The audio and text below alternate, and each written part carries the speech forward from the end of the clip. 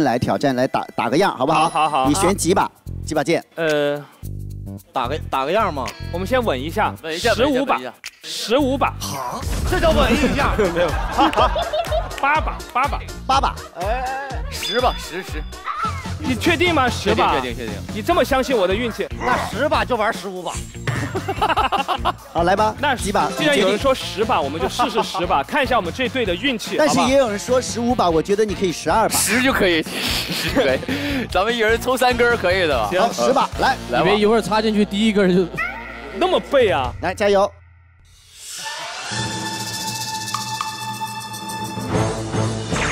那么背啊！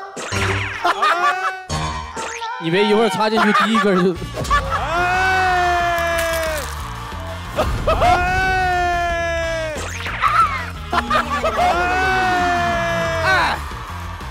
是什么嘴？什么嘴？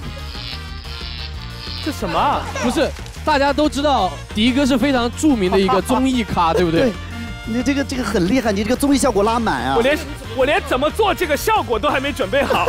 有综艺之神的眷顾，我说十把，行吧，你先去那什么，迪哥，你先去抽一个，先抽一个，对对，抽一个。来，宝宝们，帽子戴好，帽子戴好。你是可着一个人还是？别别别，分散一点，分散一点。一个人总共是十根。刚刚谁说十把的？我我我我我我。先给好，我们你这来两先戴下帽子，先戴下帽子。抽他十根。迪哥，就是你只要可着一个人抽的话，只要他的水球全部落下，我们就算十把，懂吧？哦不管你抽了几根。哎，对你愿你愿意为了队伍牺牲吗？我不愿意。啊，那行，不愿意，他还不愿意，他还不愿意。同样的问题也问你一下你愿意为队伍牺牲吗？啊，他不愿意。他不但不愿意，很无辜的看着你，算了，我不问了。不好意思让他 为不好意思而且他一直在滴水。那我就十十根儿好了。我知道，你就两个男生一边五根嘛，对吧？可以，来。